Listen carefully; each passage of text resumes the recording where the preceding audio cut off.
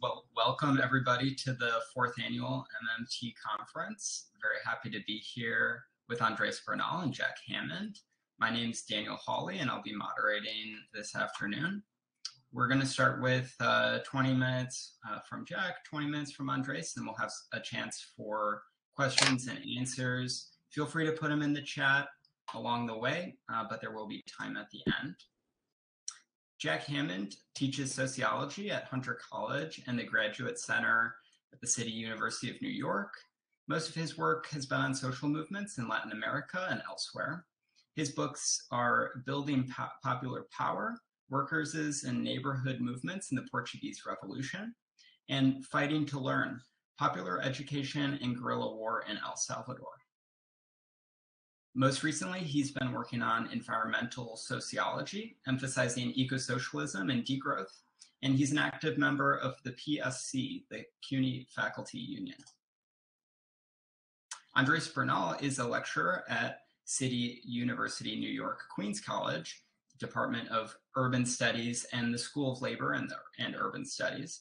He's currently finishing a doctorate in public and urban policy at the New School. Andres is a research fellow at the Global Institute for Sustainable Prosperity and a fellow at the Post Growth Institute. He is a co-executive director of Public Money Action and a senior policy advisor currently with the Neal Walia campaign for Congress in Denver's first district. So with that, I'll turn it over to Jack. Okay, thank you. Um, I have to say I was very surprised to get this invitation. I'm very happy to get the invitation to speak here, but as you just heard, I'm not an economist, I'm a sociologist. I'm definitely not an expert in modern monetary theory, although I have been following it and doing my best to understand it for the last couple of years. Um, and I decided that what I could talk about today was how degrowth throws light on modern monetary theory as far as I understand it. Uh, I hope I succeed in uh, presenting uh, that my my presentation of modern monetary theory is adequate to that task. Um, I want to start out by saying a couple of things that they have in common. One is that the jobs guarantee is an important part of the policies of modern monetary theory, and it's also an important part of degrowth. So I'm going to talk about how that might work and what are some of its ramifications. A second thing that they have in common is the contempt for both of them in the circles of very serious, responsible people like mainstream economic departments and um, major environmental organizations, not only those that believe in accelerationism or eco, uh, eco-modernism, but also some of the more mainstream organizations that um, talk about uh, decoupling economic growth from environmental contamination with the conviction that that's possible. Uh, most degrowth scholars uh, don't believe that it's possible. Um, between degrowth and modern monetary theory, there are um, some important differences, however, and my talk will highlight the degrowth aspect. First of all, modern monetary theory is by definition about money. Uh, its major variables, its major prescriptions involve money, whereas degrowth, it, money, money is really very secondary. It's really about matter and energy. How much uh, raw materials do we use? How much energy do we use? Secondly, modern monetary theory is about public policy. Its output is public policy. Degrowth has very important implications for policy, but it's also, to a very uh, significant degree, it's about how we live. It's about the personal level, and it prescribes a good life for everyone within planetary limits. Um, and I want to make clear that I'm a strong advocate of degrowth. I believe that it is the only environmental program that really has a strong chance, and even there, not a certainty, but a strong chance of solving our environmental problems, which include not only climate change, but a whole lot of others involved in resource extraction, resource use, and uh, waste disposal. Uh, I think that the degrowth prescription has at least some promise, as I say, of resolving them, and most other uh, uh most other um, programs are uh, have important contributions to make, but are inadequate to solving the problem. So, what is degrowth? What is the idea behind degrowth? Um, the name itself is somewhat problematic because it isn't primarily about growth or non growth. Growth is measured by economists in GDP, gross domestic product. Um, degrowth um, implies a reduction in gross domestic product, but that's not the objective in itself. It's a likely outcome of other objectives. And I want to just say a little bit about why we don't pay attention to gross domestic product, even though it is the primary economic statistic. It's the measure that is used by most policymakers, most politicians, and most journalists about the success of the economy. Um, but there are a number of things wrong with it as a measure of success of the economy, in particular when it is used to imply that more growth means better lives for all of us. We can look quickly at some statistics that show why that is not possible. Here we have plotting of countries by life expectancy by GDP per capita. And what we see, excuse me, what we see when we look at this graph is that for very low levels of GDP per capita, improvements, relatively small improvements, make a big increase in life expectancy. Whereas once you get up to middle income and even lower middle income countries, you find that further growth in GDP does not improve life expectancy at all.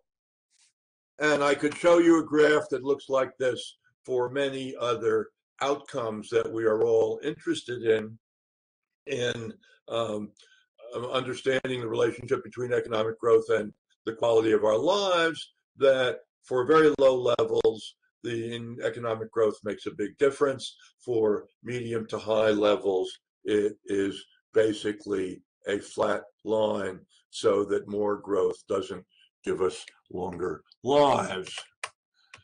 Um, in other words, GDP does not measure social well being. Uh, the inventor, the, the primary designer of GDP, we called in his day GNP, Simon Kuznets, says the welfare of a nation can scarcely be inferred from a measure of national income. So when we discard this attention to economic growth later, what do we have instead? It is, as I said before, degrowth. The objective is a good life for everyone within planetary limits, which entails a planned decrease in the use of materials and energy in wealthy countries while maintaining the standard of living. Uh, and in this um, phrase, there are two, there are three very important pieces. One is um, it's a decrease in the use of materials and energy. It's physical quantities that we want to um, economize on to, to restrict the use of. It's something that involves wealthy countries because we recognize that poor countries do have to grow, do have to increase their output in order to guarantee a reasonable standard of living to their whole population, although the kind of growth will be different from what most of them are are pursuing today. Nevertheless, we believe that they have to grow, and in compensation, wealthy countries have to shrink their use of materials and energy so that their ecological footprint, the combined ecological footprint, does not continue to grow.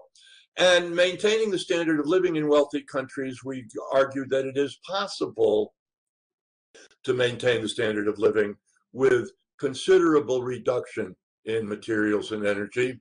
um, if we try to uh, have an economy in the service of needs rather than profit, and if that economy pursues equality and universal social services. Um, among these social services is the job guarantee, the job guarantee that the um, government will provide employment for anyone who wants to work and for whom the private market doesn't provide a job. Um, these jobs should all be at reasonable pay to maintain a reasonable standard of living with um, benefits. Benefits are not necessarily provided through the job. The medical care and um, old age pension assistance were more likely to come universally separate from the employment economy, um, but also with these jobs should all have access to unionization and representation. And all of these things bring me back to the initial definition and the fact that degrowth is really about the good life. It's not just about material standards. It's not just about taking care of people, but people enabling them to take care of themselves, enhancing their capabilities in the language of Amartya Sen. Now, this raises the question how can we have a job guarantee? How can we have full employment at the same time that we decrease the use of energy and resources? Because jobs use energy, jobs use resources.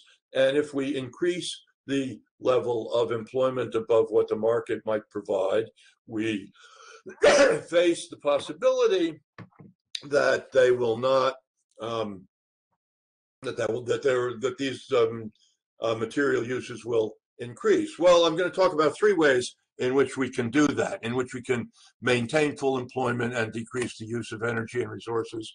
One is by recognizing the um, skewed nature of consumption. This graph, the champagne glass graph from Oxfam, is about CO2 emissions, carbon dioxide emissions that are the worst culprit in, um, in climate change. Uh, but I'm using them as an indicator of consumption. The greater the emissions, the greater the consumption of material and resources. And if we look at the world population's rich 10%, the top decile by income, we see that they are using up 49% of the consumed um, materials and resources. Then, if we look at the bottom half, the poorest 50%, they add up to 10%. So, if we round this 49 up to 50, we have 10 to 50 and 50 to 10. 10% of the population is producing, is, is using up 50% of the resources. Half of the population is using up 10% of the resources, as we see here in a slightly different view, where we have household carbon footprint by income level, and um, the income those with income less than five thousand dollars a year. This, the previous graph was the world. This one is the United States. Um, the uh, population with less than five thousand dollars income a year is uh, producing about one quarter or less of the emissions produced by the top group with 150,000. And if we could change this distribution of consumption by changing the income distribution, if we could reduce the income of the wealthiest, um, we would have much less uh, use of resources by that over consuming segment of the population. We could reduce their incomes through redistribution through taxes, through pre-distribution by financial regulations, by corporate regulations of CEO pay to uh, worker pay ratios, and by strengthening the institutions such as unions that um, en enhance the well-being of the lower income strata. A second way in which we could do achieve that reduction is by redirecting production to non-material goods. Tim Jackson offers us care, craft, and creativity, occupations in which are clearly work, which clearly involve uh, people in uh, labor processes, but which have usually a low material intensity. Congresswoman Ayanna Pressley has proposed a guaranteed job resolution and offers these kinds of examples of the projects that could be undertaken by people so employed, which include care for children and, and seniors, uh, staff of public education and early childhood learning, after school programs, leisure programs, community infrastructure for environmental cleanup, um, emergency preparedness, public art. All of these things are activities that would enhance the life of people in the communities and have a relatively low material footprint. But the main way I think that we should think about reducing the use of materials is by shortening the work week. In 1930, Keynes wrote an essay called Economic Possibilities for Our Grandchildren, in which he said that if the next hundred years improve the productivity of the economy um, as much as the last hundred years have done, we would all be able to live at the same standard of living for on 15 hours of work per week. Keynes wasn't concerned about the environment. He wasn't concerned about the use of materials. These were not his major preoccupations. He was concerned about the workers and the uh, toll that their work week takes on them, on us, and how we might live better with less work, but still with a similar level of material consumption. Now, the, the productivity has kept up with Keynes's prediction. We're not quite at 100 years yet, but we have productivity about four times as high over the last century. Um, whereas the work time, as most of you have probably noticed, has not declined to 15 hours a week. In fact, um, working hours have been a constant source of struggle since uh, the Industrial Revolution. And if they could be changed, we would come out with a shorter working day, we would consume fewer resources, we would decrease the use of energy, we would reduce emissions. But starting with the Industrial Revolution, working hours, um, when people were leaving the countryside, losing their lands to enclosure, looking for new kinds of employment, the number of hours that they had to work in order to make a half decent living increased dramatically. The factories of the Industrial Revolution of 14 hour days, even 16 hour days, were not at all unknown. And this was a subject of enormous worker struggle. The first known strike for um, uh, work time reduction was uh, Philadelphia carpenters in 1791, demanding a 10 hour day.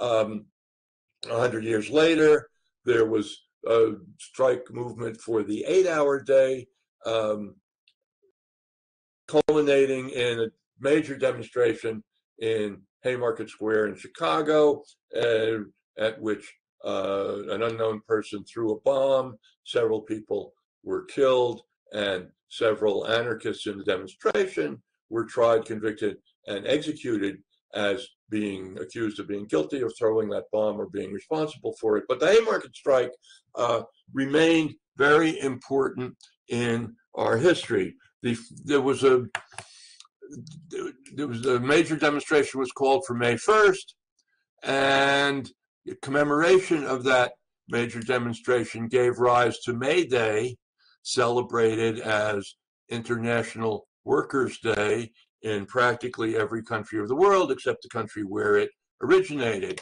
It also produced a song uh, called Eight Hours. We want to feel the sunshine and smell the flowers. This brings us back to my point about degrowth being about the way that we live and not just about the hours or the pay that we get. We want to be able to enjoy our lives eight hours for work, eight hours for rest, eight hours for what we will. Having control over our work time, having limits to our work time, and having more time over which we have control is an expression of freedom and one which degrowth uh, along with many other uh, active workers' movements, believes that we are all entitled to. But there were setbacks. Um, a major setback was the Supreme Court Lochner case in 1905, in which the Supreme Court ruled unconstitutional a New York state law uh, limiting the working hours of bakers because, according to the Supreme Court, this violated the freedom of contract, the, the worker and the employer to decide between themselves what how many hours they would work and what they would get paid for it. And that became the guideline to government policy, not only work hours, but in general, labor management relations, saying that the um, the government could not legislate limits on those relations, something which did change with the New Deal, the Fair Labor, Fair Labor Standards Act in 1938, which set up standards for overtime and regulated. It didn't. It um, didn't mean that they couldn't. The employers couldn't demand overtime. They could and they can, but at least they had to pay supplemental wages for it.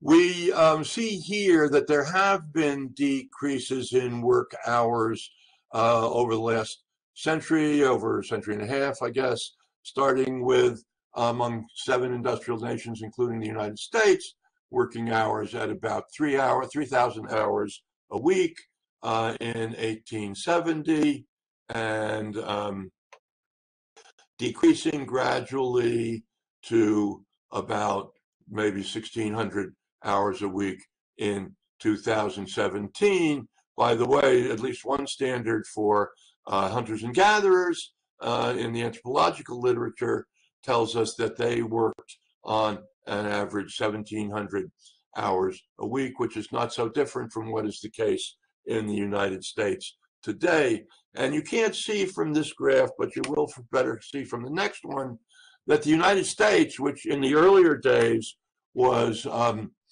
similar to other industrial nations. But in the 20 in the last half of the 20th century, while working hours continued to decline a little bit in the US, they did not decline nearly as much as was the case in other industrial nations. Our trade union movement um, is very weak, as we all know, and even to the extent that it has demands that it has struggled for, working time has not been at the top of their agenda. You can also see that American workers get a bad deal when it comes to vacations and holidays. We are the only major country that doesn't have statutory minimum paid leave every year for workers. Uh, we have holidays, but when you add the required vacation days and the holidays together, uh, the um, American worker gets 10 days a year. In the UK, it's 37. And in the other wealthy countries shown here, in almost all of them, it is at least twice as much as it is in the United States. Now, if we were to get work time reduction, there would be an enormous number of benefits to the mental health of the workers. It would reduce unemployment. It would contribute to macroeconomic macroeconomic stability. It would clean the environment. Productivity is a little more complicated. Studies that have been done of um, how does productivity change when there actually are reductions in work time, either in a business, in a company, or countrywide by legislation. Um, some studies show distinct gains in productivity, others show decreases. So we can't say that productivity is a guaranteed benefit of work time reduction, but we can at least study the circumstances in which it turns out that way. And finally, the, the benefit of work time reduction is freedom. We are more free to control our lives, which capitalism uh, has turned our time into a commodity. We sell it. As E.P. Thompson put it, we used to pass time, now we spend time. And um, with shorter working hours, this enhances our ability to do what we want with our time. This is the area, by the way, where there's considerable overlap between um, degrowth and mon monetary theory, particularly in terms of the emphasis on the job guarantee in modern monetary theory to reduce unemployment and to stabilize the overall economy. Now, there is, of course, plenty of resistance. I see I've run over a little bit. I'm going to finish up pretty quickly. Uh, there is employer resistance for several clear material reasons, but also for some more transcendent reasons. In our labor force, um, there is a fixed cost per employee, and the uh, employer can, by making workers work more hours, doesn't have additional training time, doesn't have additional benefits to be paid, doesn't have additional payroll taxes, so that adding workers is costlier than extending the workday for those that are already there. There are fears for productivity, as I just mentioned. Sometimes it seems to enhance productivity and sometimes to decrease it. Uh, there is the possibility that it will require, adding more people at shorter hours will require lower hiring standards as you reach deeper into the labor pool.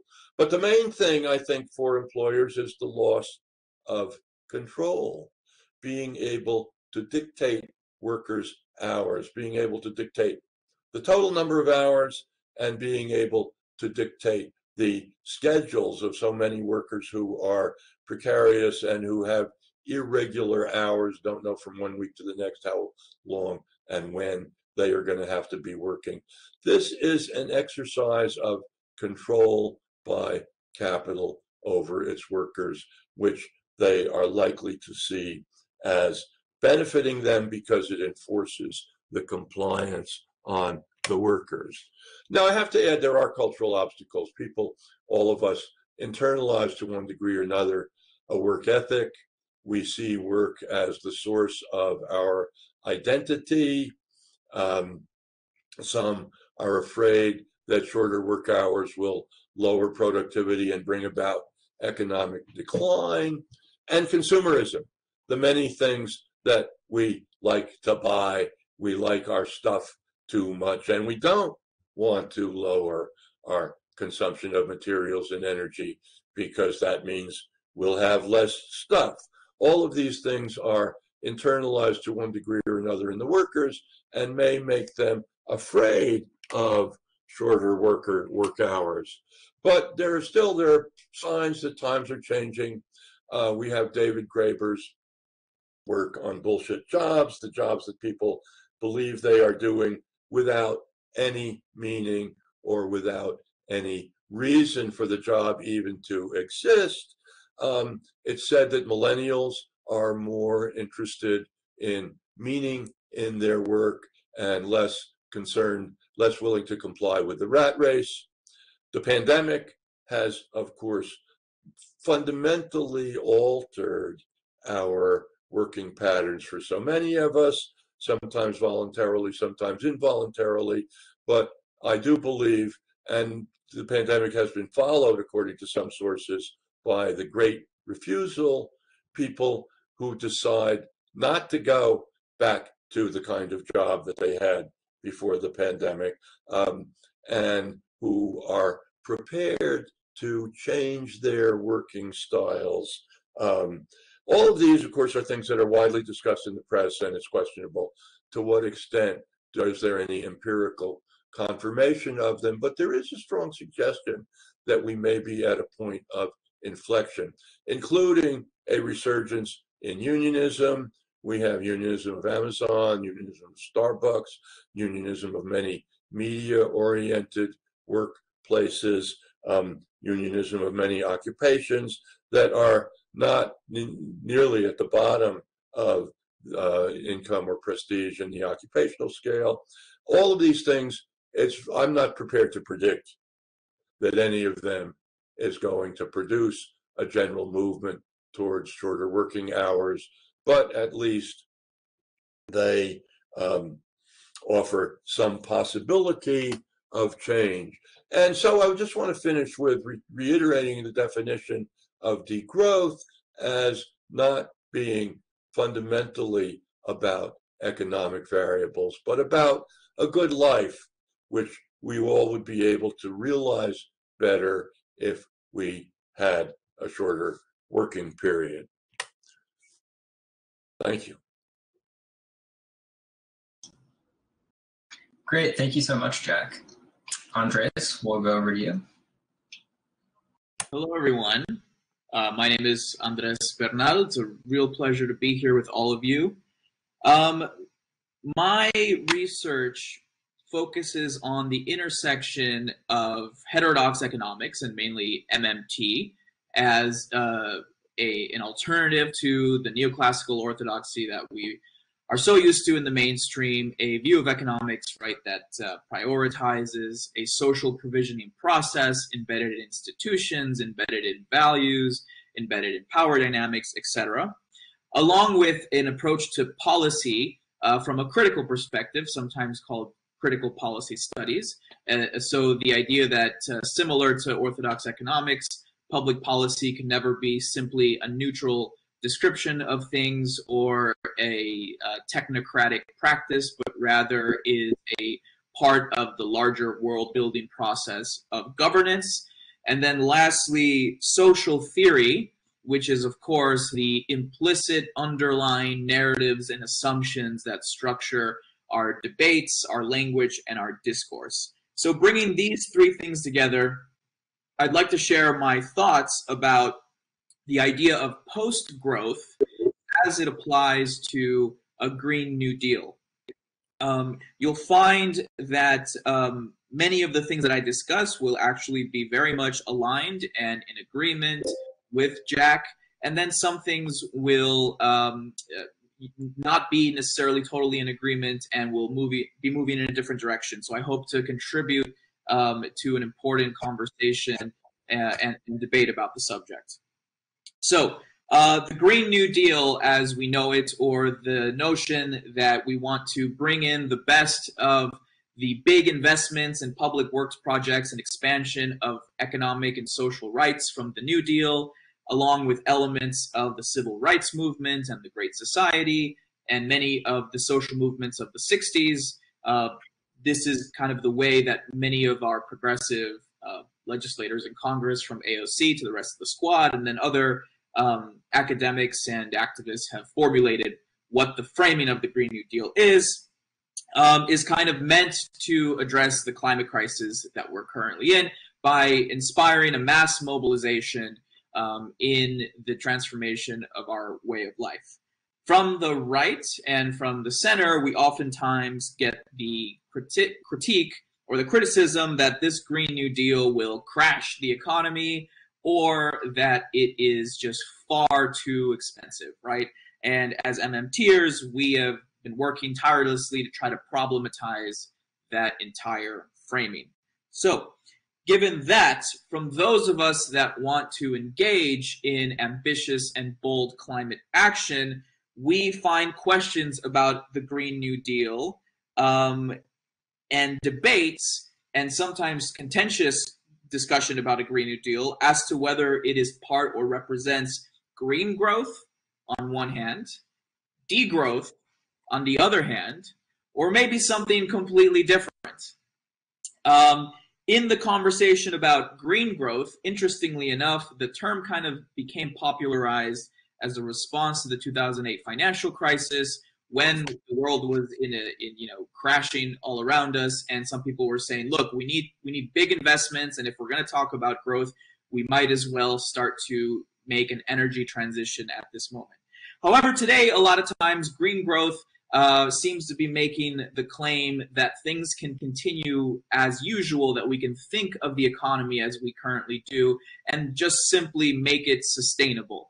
Uh, this has, of course, brought up the question of decoupling and whether uh, capitalism, capitalism as we understand it, can be decoupled from the uh, emissions that are driving climate change and the rest of the environmental disasters. And of course, I think that there are many problems with this approach to decoupling, uh, insofar as that every time there seems to be a tension between decoupling and growth, given the way that those in power and those that kind of are the intellectual architects of mainstream economics and policymaking see it, uh, it's usually green that gets sacrificed and growth that that keeps on um, going and, and staying firm um, in creating the world. So there are a lot of critiques of green growth uh, have to do with simple greenwashing or the idea that it's just a lot of talk and lip service and there's no actual viable way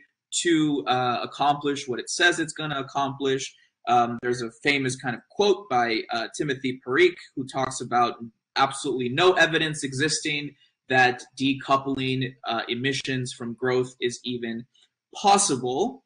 And so, of course, counter to this is uh, the framing of degrowth, as Jack uh, explained. And interestingly enough, um, in in the explanation, right, he mentioned uh, that the name can be problematic, and I think that this is more insightful um, than sometimes given credit to the the very notion of degrowth. Um, questions arise about degrowth as to whether even if we degrow, can we actually uh, decarbonize and and keep the planet from warming over 1.5 or whatever our goals are in time without inciting a global recession or depression. Uh, additionally, uh, and I think at its best, because I, I, I, wouldn't generalize the degrowth movement as one simple thing, but at its best, degrowth finds the degrowth movement finds itself often uh, go, fighting an uphill battle against the implications that people believe their standard of life is actually going to go down by degrowing the economy and degrowing uh, incomes. I think in some instances, um, for example, what was very present in the documentary uh, Planet of the Humans produced by Michael Moore, there are aspects of degrowth which can be more problematic, which have been accused of a certain kind of Malthusianism, or rather the, the belief that it's humans that are the problem and we need to scale that down. And this is something that I, I believe also the degrow movement uh, and with its with the best intentions faces too. I uh, am here to argue that both of these debates are premised on the idea that growth is a singular, easy to understand, and even coherent concept. Um, and many of this was in Jack's presentation as well. Growth, as we know it, being just a word, is a is a basically a term used to describe GDP, which is a statistical measure uh, that has been created by humans, by people, and by many of those that are in power and is not capable of accurately measuring human well-being, uh, ecological sustainability, et cetera, et cetera. As we know, we could have uh, pris- private prisons created and say this is good for GDP. Uh, we could have mass incarceration and say this is good for GDP. We could have uh, hurricanes and and uh, you know superstorms from climate change ravaging our communities and say, well, this is great for GDP because then we can clean it up, right? This is a totally uh, inaccurate and very problematic measure of, of human well-being. And so in that sense, why should we privilege the very notion of growth with a counter term, degrowth, when the very idea is pretty ridiculous to begin with? Uh, from that perspective, I'm very interested in beginning to deconstruct that very notion of, of of growth itself. And as the term post growth kind of implies, and we see in other terms like postmodernism or uh, post colonialism, it's our work to kind of problematize all the different premises of that term uh, from, from the very get go. So thinking about uh, something that goes beyond growth or that at least deconstructs it, I think that there are certain perspectives that can help us um, do that kind of work. Some of which uh, one example of which involves Jeroen van den Bergh's idea of a growth or an agnosticism or indifference to growth, whereby we begin to focus on certain social and environmental objectives and goals that we may have. And in some cases, for example, in much of the, the global south or in the periphery, it might just be that we experience some growth of GDP, but we don't really care because that's not our point. The point is like, are we meeting certain social and environmental standards. And in other areas, there will be a scale down of things that have been destructive, um, uh, that have polluted and that have harmed um, communities and ecologies. And uh, that just happens as well because it falls in line with our uh, social uh, objectives. In both of these situations, GDP itself and growth itself is not the thing that uh, that we prioritize um, at all. So in the green growth model, if we if uh, green investments and sustainability and sustainability threatens growth, we run into a problem. In the degrowth model, it is very possible that if uh, if investments in sustainability run into might actually spur growth in some moments, we can imagine that that can be a problem as well. By rejecting both of those frameworks and thinking about a model indifferent to growth but focused on uh, again social and environmental objectives, we can potentially overcome that limitation once again because GDP is simply a measure and an, a statistical indicator and it is not grounded in some kind of material reality. Uh, another perspective that can be useful is the idea of qualitative growth, um, which brings attention to growth not as some kind of um, uh, ongoing exponential material thing or relationship with energy, but questions around the qualitative composition and the purpose around that growth. Uh, for example, uh, shout out to Will Beeman, who um, gave this example to me, right? If we were to uh, measure somebody's emotional state after, for example, uh, uh, two years uh, of the pandemic, and we were to say, we're going to measure your emotional state by how much money you've spent, we would know very little uh, important information about that person. We would actually have to be asking ourselves, well, what did you spend that money on? and what did you spend that money responding to? And those, of course, imply a lot of qualitative questions. Now, Fred Block has some interesting things to say about qualitative growth. For one, he talks about shifting the principles of economic organization and production towards the growth of human capacities. This is also in line with uh, Martha Nussbaum's and Amartya Sen's view of the human capacity uh, understanding of, of growth and development to replace GDP. Uh, Block describes this kind of flexibility, dynamic flexibility, whereby institutions and their social actors are able to effectively use and develop technologies based on their democratic capabilities to problem solve. So shifting production uh, and the organization of, of the economy towards problem solving and human capacities. A second point for Block in, in the idea of qualitative growth is applying these principles consistent with normative considerations such as social and environmental objectives. So again, we kind of go back to this idea of why uh, the purpose and intentionality behind uh, the economy. Um, others have spoken about replacing GDP entirely with a GPI or a genuine progress indicator uh, along with the human capabilities approach, we could imagine a world where we have several ways to think about, consider, and evaluate economic development or whatever it is we want to call it, as opposed to a growth versus degrowth kind of framing. And indeed, uh, uh, much work has been done on the very practice of accounting itself, uh, having a long history not of accounting uh, for the sake of profits, but in various traditions, I can think of the Jesuit tradition as one example, accounting as a means of social valuation and reflecting or mirroring the decisions that we are making collectively as an organization, a group, society, uh, what have you. Um, this uh, comes to mind the work of Paolo Quattrone that is uh, quite good on, on these sorts of things.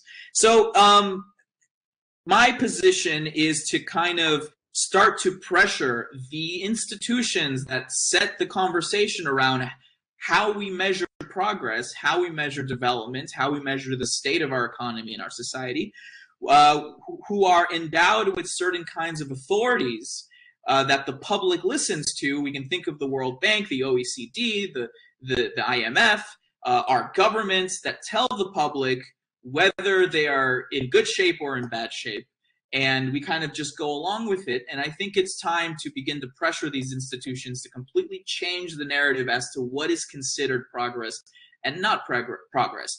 Doing so, I believe, will open up a much more beneficial conversation, productive and conducive to overcoming the climate crisis, um, based on uh, specifically targeting the qualitative dimensions of uh, what we produce, how we produce it, and the different social relations and relations to ecologies that make that up.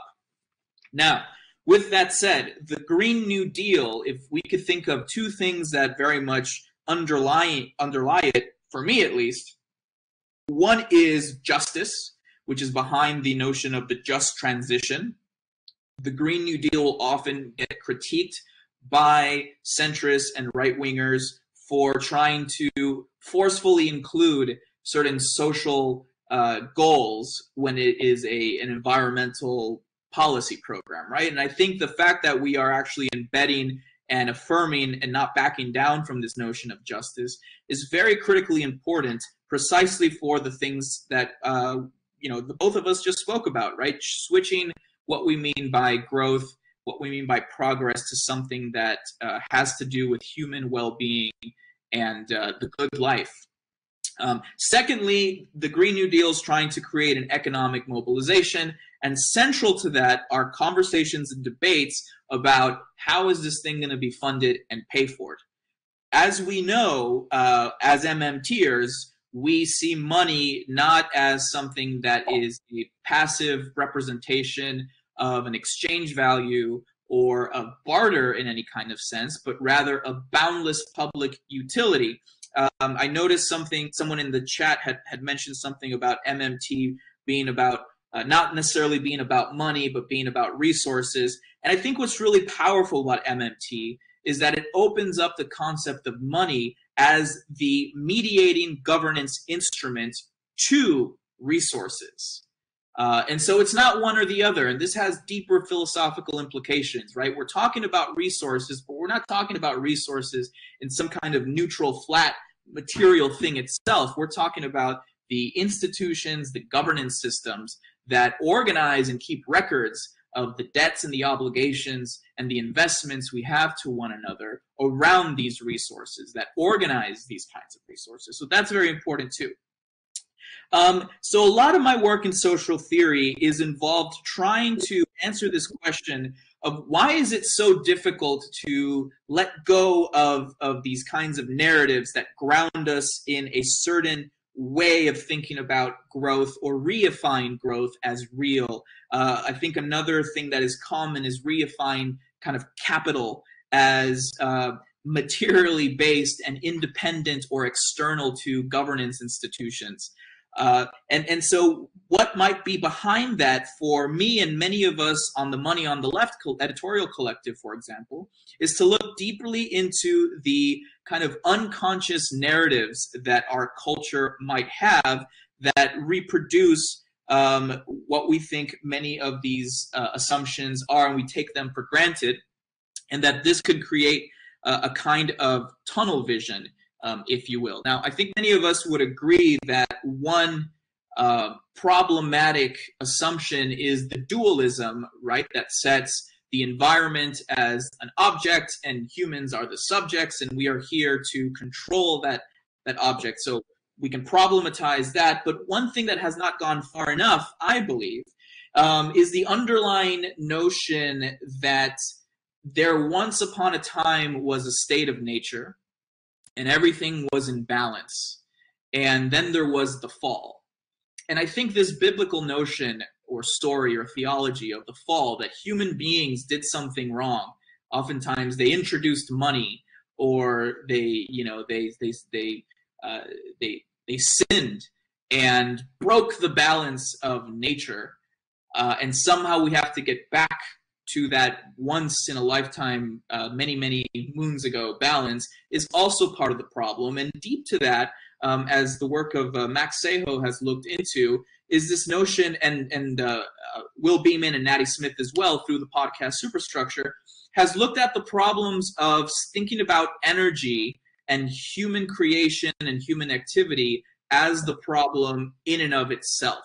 And this, the potential and the danger for this underlying some of our eco politics that in conditions of growing fascism, authoritarianism, tribalism, or any kind of kind of xenophobic tendencies um, have the danger to lure us towards a kind of eco-fascism, um, which I believe is uh, a, a, very serious danger for what, what we're living.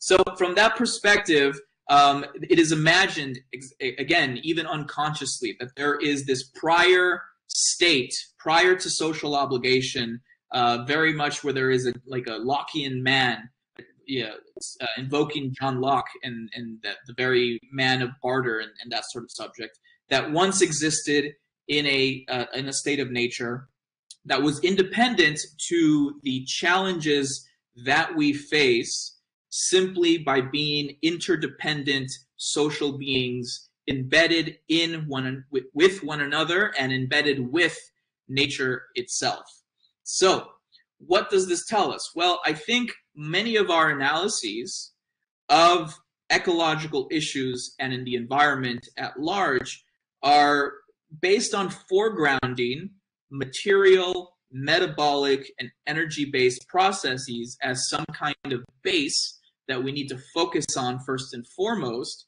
and that often apply. And you can see this a lot in the language and the arguments um,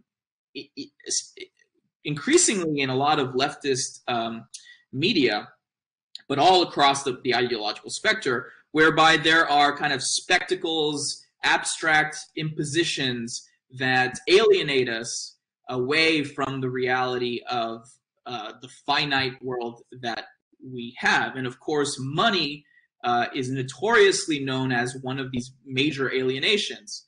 Uh, and I think this is part of the process that has allowed us to commodify money and not see uh, its its uh, its nature as a boundless public utility. Now, with that said, um, in a kind of forefronted um, base only analysis, right? Relations are zero sum and they're scarce, and it's kind of a one to one kind of thing. When applied to economic analysis, we see this in the taxpayer myth the idea, of course, that there is value circulating around the economy. The only way to do anything about that value is to tax it from somewhere and redistribute it to somewhere else. In reality, environments and humans are ongoing in their reproduction and their growth, but importantly, crucially, on qualitative ends, not on quantitative ends alone. And that makes a huge kinds of difference. This allows us to avoid the conflation of growth and creation at large, or the act of intentionally relating to ourselves in almost an infinite uh, and much more unbounded kinds of ways. We can think of developmental growth and progress not as a singular vision uh, most embodied in the history of modernity, industrialism, and capitalism, but rather something much more open to critical thought and reimagining basically what I mean to say is we can reorient the way that we relate to one another and our and our ecologies uh, generally.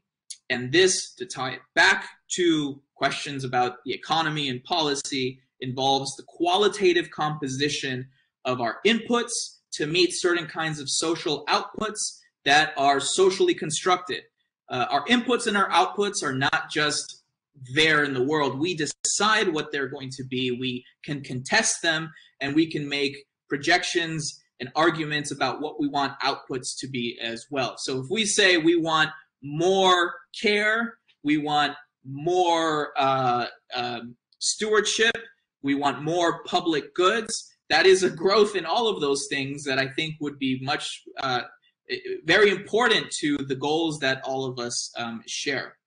And also would begin to break the scarcity zero sum mentality that much of the, the public um, has been um, propagandized with. So, with that said, we can think of uh, heterodox economics, policymaking, as changing the way we think about the economy, prices, employment, markets, consumptions, and firms as not the product of some kind of natural equilibrium uh, and material based immediate contact. And even struggle alone, although struggle is important, but struggle alone amongst uh, human beings, but uh, instead holistic processes that are mediated by law, that are mediated by investment, that are mediated by culture uh, at different scales. Um, what this allows us to do, in my opinion, is to think of production as an intentional uh, human, or the intentionality of organizing human relations, um, money and law playing a critical role in this, and thus changing how we think of capitalism away from a natural machine whose motor is profits, but rather simply a logic that gets reified and reproduced, but that can also be contested, and that is not an absolutist and universal force of nature. In other words, capital is not autonomous from law uh, or uh, decisions about public investment, and that matters. So, with money understood as a public utility, we can invest in decisions about production through a job guarantee that meet various human and social needs that we may have, um, and that try to scale up as quickly as possible the qualitative changes to the composition of our production and our consumption uh, and our inputs um, as fast as we can, independent and agnostic to growth or degrowth. Thank you. Awesome. Thanks so much, Andres. Uh, I think I'd like to invite Jack um, into conversation with Andres for a little bit. And if anybody has questions, feel free to put them in the chat and we'll definitely get them. But I think um, maybe we can give Jack a chance to respond and, and we can um, get a generative dialogue going. Okay, um, can you hear me? Yes, looks like it. Um, yeah, that, that was great, Andres. It was really very interesting. Um, I think complementary and um, there's not too much to disagree with. Uh, we uh, we're both um, moving in much the same direction, not only in terms of the specifics of what to be done, but also the overall um, evaluation that um, of, of, the goals that we are trying to achieve. I, um, I, I guess I have a couple of things to say. I don't like to draw lines and say, I'm on this side and you're on that side and I'm right and you're wrong. But nevertheless, when I consider the Green New Deal and what I know about it, um, I think there are a few deficiencies that I would like to address that degrowth, I think, responds to.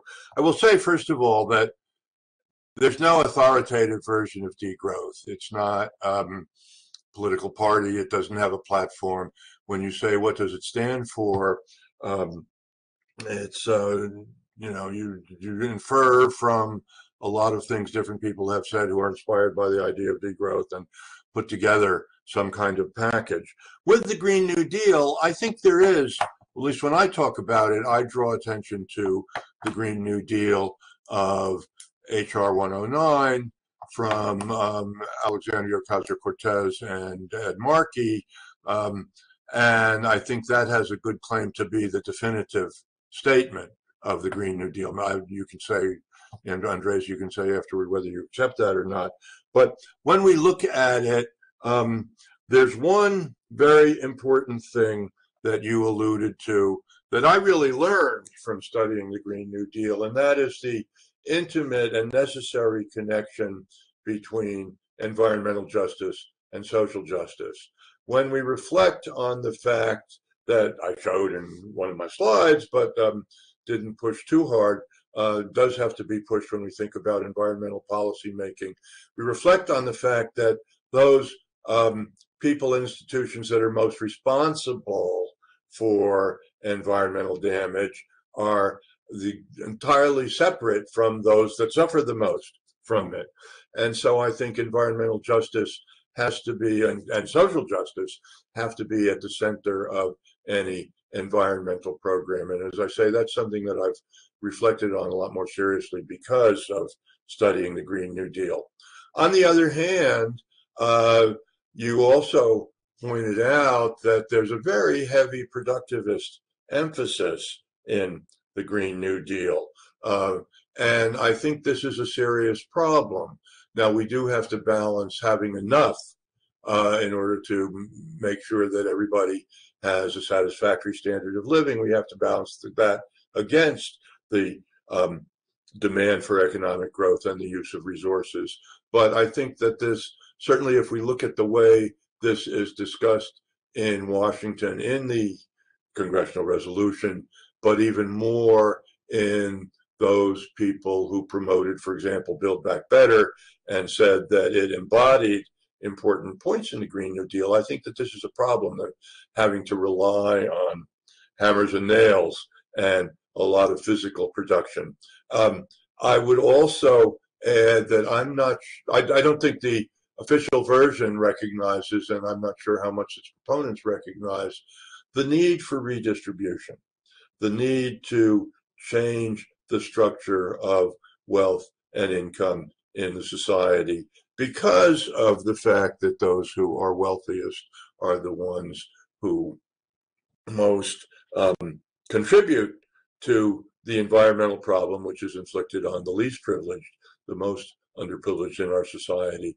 And I think that um, the Green New Deal, as it is understood, um, these things, these it may be possible to resolve these criticisms within the problematic of the Green New Deal, but I don't think they've done so. Um, on the other hand, you know, to repeat what I said at the beginning, I don't like to draw lines. I think that the um, the Green New Deal is an eminently positive proposal, which if we could see it implemented, we would be in much better shape. And so I think these are things really just to reflect upon and discuss rather than see them as disabling criticisms.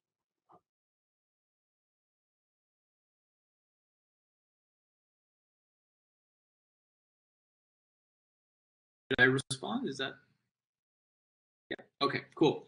Uh, well, thank you so much, Jack, for your comments. Yeah, I think uh, a couple of things. Um, first thing I would say is while the congressional resolution is probably like the official document that we have that creates a framing for a Green New Deal in our political process.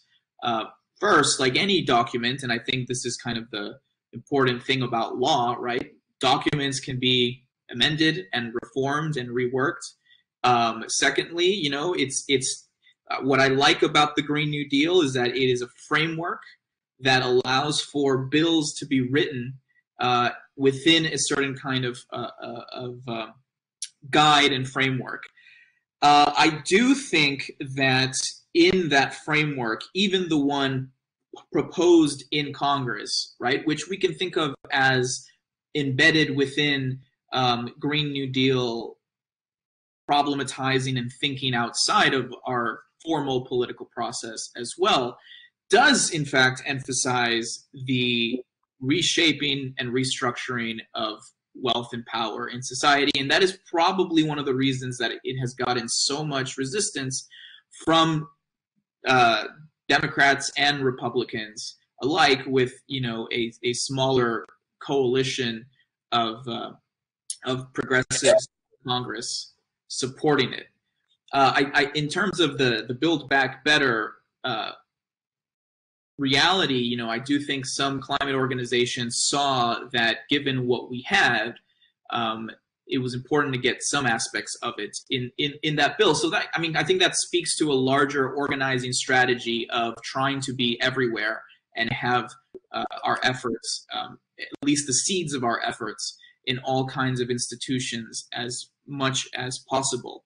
Um, now, one thing I think is very important is that a lot of the propositions and pro uh, the proposals for investments are public investments with public money that while they might have a, a productivist element, um, creating, for example, a high-speed train uh, across the whole United States um, that could be a part of massively transforming mobile mo mobilization and transportation away from cars and towards public transportation is uh, ultimately a very good thing.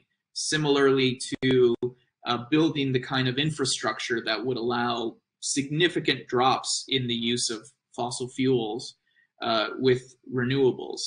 Um, but as you mentioned, I think part of the process of debating, you know, to what degree we need to, uh, what what it will look like to consume differently is also something that uh, the Green New Deal as a framework opens up for for us uh, to do.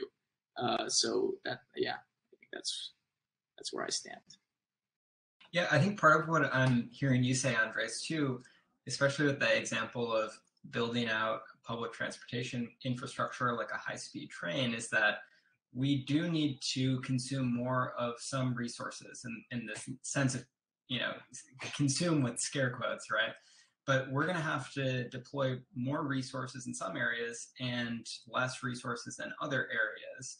And so that seems to be one of your provocations to the degrowth is that it's not flatly about using less, but there will be areas where we have to, you know, use more essentially. And I guess I'm I'm also interested in in hearing Jack respond to uh, what Andres was saying during the talk about the various orientations to growth, um, be, because that language is so central to this uh, kind of conversation, whether it's agnostic to growth or envisioning post growth, but it seems like his challenge to degrowth is a is about um, reifying growth as a concept that can be measured in in a way that is commonly understood. Um, so, could you respond to those orientations, Jack? Yeah, I've I've certainly read criticisms of degrowth that are based on, I think, caricatures, uh, in the sense that they you know, are you against um, having flowers grow? Are you against? Are you in favor of foot binding? Um, you know, there's not. The it's not just growth in an absolute sense. It really is a matter of growth in the use of resources and energy, and it is secondary. It is secondary in the sense that uh, judgments on these issues, and Andre certainly indicated this, judgments on these issues should be made in terms of the objectives that any given use have, and um, you know the, the the growth is sort of irrelevant. Growth is not the question that has to be answered first, even in terms of uh, even more narrowly in terms of material and resources. But yeah, I think you know there's a rule of reason to be applied here. Doesn't mean that we should leave um, our railroad tracks deteriorating so that rains, trains run off the track, we should keep them fixed. But within an overall plan of public transportation, we want to emphasize those kinds of transportation projects that will improve uh, the flow of traffic, but without increasing it. I mean, here, one of the problems is, of course, that whenever you improve uh, transportation facilities, you produce more um, traffic and therefore uh, may wind up with the same problem at a higher scale than you started out with. So, but these are judgments to be made empirically on the basis of the specific conditions. And I certainly wouldn't say that degrowth is in is totally against any kind of growth, any kind of usage of materials that um, that in the short and narrow compass might seem to be taking an environmental toll. Um, I was going to say one other thing about the various standards that we might apply, the various kinds of indicators of um, the state of society, whether the Human Development Index, the Genuine Progress Index, um, the um, the the agrowth, which I'm not too familiar with, but which which you mentioned, Andres. These are um, any sort of global definition, any global declaration of what our objectives are, are going is going to meet up with potential objections in specific cases. And we just have to be reasonable about this. We have to think about what things are really um, going to contribute to the general objectives of a better life within a framework of a healthy planet. Um, but I think that our instinct, our cultivated instinct, is so much to think that growth is good and growth is the solution to any problem that we really have to um, examine the kinds of claimed exceptions with very strict scrutiny to see whether they really are going to help us solve the over problem, overall problem, or create more problems down the road. Yeah, it sounds like then uh, it sounds like we agree that we need qualitative uh, indicators of, of success yes. Right? mm-hmm. and indicators that are not reducible to growth and investments. Yeah, yeah, there is. A, I think there is a measurement fetish um, in both of our professions, in economics and in sociology, that leads uh, makes it almost makes it much easier to respond to precisely defined cost benefit kinds of objections, but to leave out the larger picture. And while we do indeed, you know, we, we do indeed have to worry about some of the cost benefit issues, but we really need to guard against letting ourselves be trapped by them.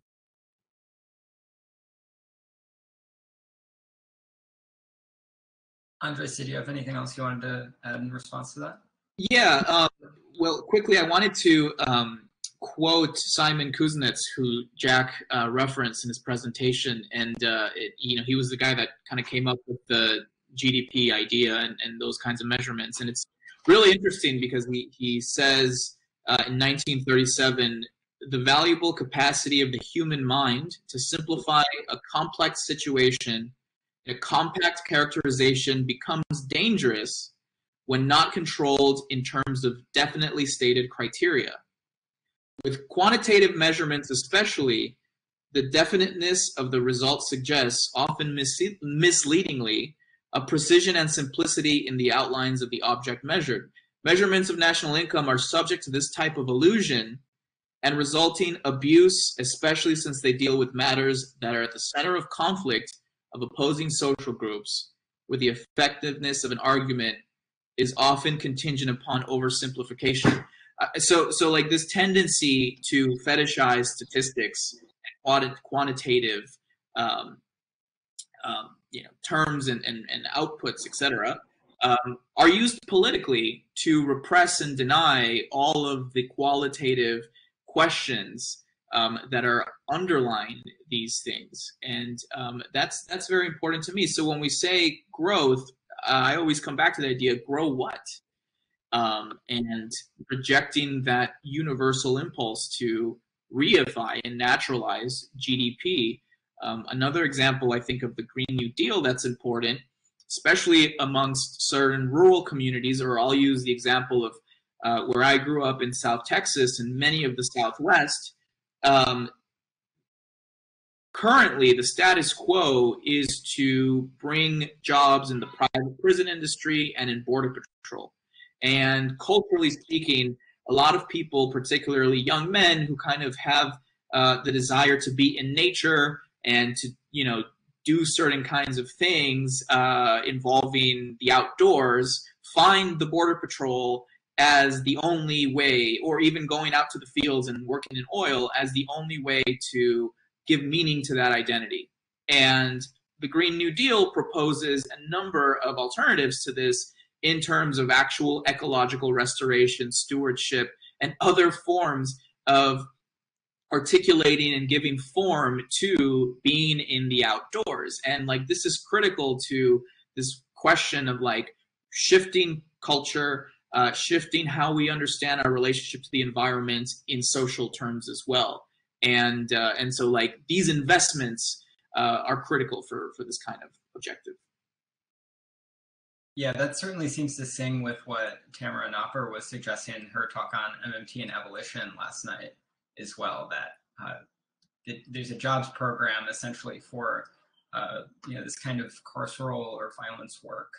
And we need to, and I think it's it seems everybody's in agreement here that we need to reach full employment, but employment in non-violence work and work that's actually kind of building something that will help us achieve those qualitative uh, indicators that you all are discussing.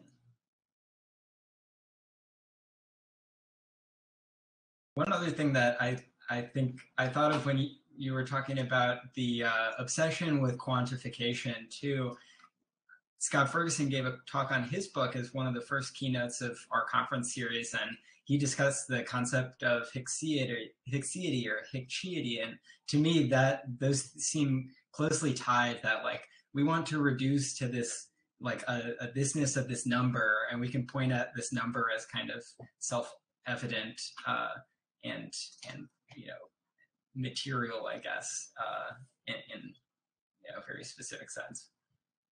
Yeah, yeah. Scott, Scott's work is really fascinating, and I think important in tracing back these kind of unconscious social logics that we that we uh, have commitments to, um, and he stems them all the way back to you know the late Middle Ages and, and the debates that were theological debates that were had at that time, then led to the kind of foundations of modernity and the Enlightenment and whatnot. And one of the things that I find have found incredibly useful for this question of ecology is the difference in thinking between uh, a world that is full of wills and forces that are individuated from one another. So we can think of like bartered agents, rational agents colliding, or uh, e even ecologies and humans as these separate things and they encounter one another and their forces uh, basically kind of a Newtonian physics of everything. And so much of our social science, from economics to sociology,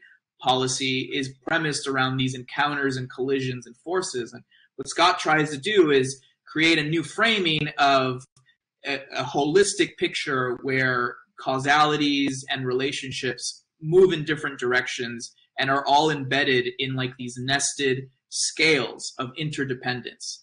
Um, and so I think it's quite beautiful because in a economic sense, uh, in terms of the macro economy, you know, you can have the federal government providing spending for, uh, you know, everything from housing to uh, jobs to issuing legal charters to banks and corporations, uh, allowing banks to issue credit. So there's all this like productive investment happening that's being shaped at different layers. And then of course you can think of the state level, people making decisions that give it different shapes, and then uh, the municipal levels, and then we're all agents as well with agency participating in that. So it kind of rejects this notion that like we have to pick either uh, fully uh, kind of uh, over determinism from above or the neoclassical fetish of the individual either and we can instead see a holistic participation where everything matters, everything is shaped from above, but then we also can respond and participate as well. I don't know if yeah, I'll have to speak to Scott to see if I did that any justice, but I think it's pretty good. I mean, I, I think um, it's hard to like hear that you spell that out and and, and then also and like come back to uh, you know, capital is deterministic and there's no sites of contestation for us. that seems to open up a, a, wide variety of sites of contestation.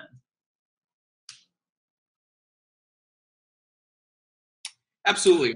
Yeah, I, I am I'm not capable of following the chat while speaking or even listening to a speaker, so I don't I, I don't know very much of what's in there. But were there any questions or issues that were risen were raised there that uh, we should look at? Yeah, I saw some, um, Mike Lewis had a nice citation to the resources are not, they become paper, um, which he pointed out Andres covered in his recent paper with the Global Institute of Sustainable Prosperity. Um, I've, I see a little bit of other discussion. I haven't seen any questions yet. Um, if anybody does have questions, absolutely throw them in the chat. Jack, was there anything else um, you wanted to respond to or, or kind of lay out? Not not at this point. No, I mean I think we've we've covered it all. Uh-huh. Excellent. Well, then uh, we can wrap up. If there's no other questions uh, from the audience, um, we can still give people a second. But maybe if there's uh, final thoughts that you you all had, you wanted to share, where we can look out for next work, anything you've got coming up, or or just final thoughts on the topic this afternoon. I would just say that the problems are in politics at this point. I mean, we really know a lot of what we have to do. We may have disagreements over specific points, but uh, given the combination of forces around the world and in the country and in Washington, uh, it's very hard to know how to move forward. Um, and uh, I wish I had, I wish I had at least a partial answer to that, but it's certainly what's on my mind the most. I, I would uh, definitely agree with Jack that the problems are are political, um, and I would also emphasize that part of the work we can do as you know people that are trying to organize or inspire change or reframe things is to question many of the um, perspective framings that the status quo gives us to begin with that we find ourselves fighting against. Um, and in doing so, however good willed, we are giving them too much credit uh, for speaking in any kind of coherent or descriptively accurate sense. And so I would maybe, and yeah, I would I would end my talk um, talking about and, and emphasizing the importance of deconstructing our, our own debates um, as one way of many to uh, address this very, very overwhelming and difficult challenge, which is the climate crisis. Um, because I think that um, you know it's not um, it's not an exaggeration to say that we kind of do need a paradigm shift uh, to really achieve this kind of end goal that we're looking for. Yeah, I think that's really well said, and it, it does sound like we all kind of share the the same objectives, and I think the vision that you both are articulating is a really beautiful one for the future. So thank you, Andres. Thank you, Jack, for joining us this afternoon. Keep an eye out on Twitter for more uh, events from the MMT conference. It's going on for a long time, so plenty of other good stuff coming down the pike. Uh, so thanks again, Jack and Andres, and thank you to the audience for for tuning in today. Really happy to have you. Thank you also. Thank you. Bye bye. Bye.